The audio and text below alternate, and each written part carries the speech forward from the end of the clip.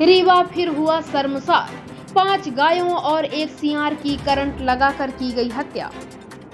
भूस्वामी की निजी अराजी में तारबाड़ी में लगाए गए करंट में फंसकर हुई मौत। मौके पर वन अमला, पुलिस अमला और पशु चिकित्सा विभाग पहुंचकर कराया गया पोस्टमार्टम। मध्य प्रदेश गौ संवर्धन बोर्ड लापता। रीवा कलेक्टर के दिशा निर्देश, हवा, हवाई। रीवा ज़िले और पूरे मध्य प्रदेश में गौ हत्या की वारदातें दिन प्रतिदिन बढ़ती जा रही है। एक तरफ़ तो जिला कलेक्टर रीवा पशुओं की व्यवस्था हेतु आए दिन फरमान जारी करते रहते हैं, लेकिन इनके कागज़ी फरमानों और गौ संवर्धन बोर्ड का कोई लाभ दिखता नज़र नहीं आ रहा। जहाँ गौ संवर्धन बोर्ड गौवंशों के लिए आने वाले फंड को हजम कर रहे हैं, गौशालाएँ कागजों पर संचालित हो रही हैं और गौ सेवक मात्र नाम मात्र के बचे हुए हैं। ऐसे में ज़ाहिर है पूरा रीवा संभाग सहित मध्य प्रदेश में गौ हत्या और गौवंश प्रताड़ना बढ़ती जा रही है। अभी ज़्यादा दिन नहीं हुआ है। जब Animal Welfare Board of India की टीम ने आकर रीवा ज़िले को संपूर्ण मध्य प्रदेश में गौवंशों के लिए सबसे बदतर स्थान बताया और आठ गौशालाओं को मात्र कागजों पर संचालित होते पाया गया और उनकी मान्यता रद्द करने हेतु तो सरकार को लेख किया गया है। आइए सुनाते हैं क्या कुछ कहा क्षेत्र के लोगों ने। इंडिया रिपब्लिक न्यूज़ के लिए राजीव द्विवेदी की खास रिपोर्ट। आ, कौन सी वारदात और कैसे जानकारी आपको मिली? दूरभाष के माध्यम से जानकारी मिली कि भटवा उपवन क्षेत्र में आवारा पशु हैं जिसमें से चार गाय और एक बैल और एक जंगली पशु जानवर है। सियार है किसी अभी तो अज्ञात व्यक्ति के द्वारा करंट लगाया गया है। जो ये बारबेट वायर है उसमें फंसे हुए मिले हैं। जो मुख्य वन विभाग की टीम और स्वास्थ्य विभाग की टीम आई है उसका पोस्टमार्टम करके किया जाएगा। जो भी अपराधी होगा उसके ऊपर मुकदमा प्रकरण दर्ज जिस तरह से पशु यहाँ पर मरे हैं जंगली जानवर आपको क्या लगता है कैसे मरे हैं? अभी तो फ़िलहाल देखने में तो यही लगता है किसी के द्वारा करंट लगाया गया है। अब डॉक्टर आएँगे वो रिपोर्ट देंगे तो उससे इस- इस- स्थिति स्पष्ट क्लियर हो जाएगी। क्या आपको वरिष्ठ अधिकारियों से जानकारी मिली है? बिल्कुल सही वरिष्ठ अधिकारियों से कि किसने आपको जानकारी दी? वन परिक्षेत्र अधिकारी सिरमौर। ओके आपका पद नाम? वन रक्षक भरतलाल। सिंह क्या नाम है आपका? कहाँ के निवासी हैं? ये जो पीछे आपके गाय मरी हुई है सियार मरा हुआ है तार में फंसा हुआ ये किसका खेत है कैसे मरे ये?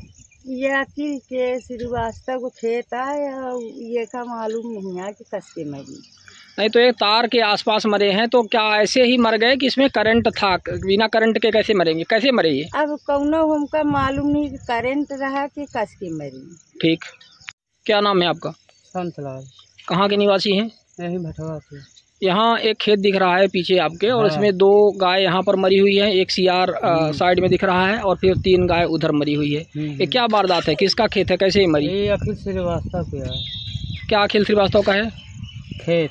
खेत अखिल श्रीवास्तव का है। हाँ। और ये तार बाड़ी किसकी है? उन्हीं की है। तो ये करंट से कैसे मरे?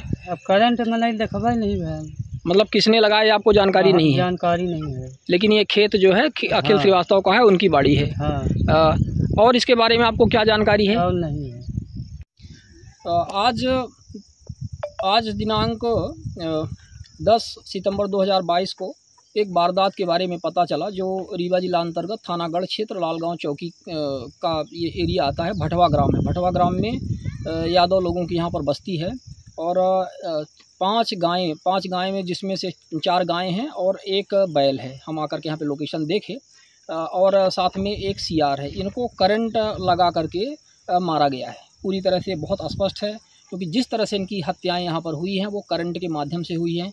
जिस व्यक्ति ने करंट लगाया था, उसने करंट लगाते समय करंट तो लगाया, लेकिन अभी वहाँ पर जो तार था मेन जगह पे, वहाँ से छूटा हुआ है, ऐसे समझ में आ रहा है। तो स्पष्ट तौर पर यहाँ पे करंट से इनकी हत्या की गई है, और इसके विषय में फॉरेस्ट विभाग के जो एस डी ओ हैं, उनको बता दिया गया है ऋषि कुमार मिश्रा।